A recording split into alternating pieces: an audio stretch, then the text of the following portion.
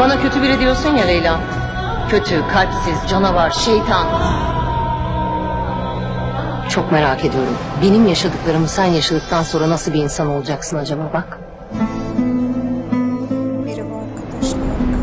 Ben hep seninle olacağım. Asla bırakmayacağım seni.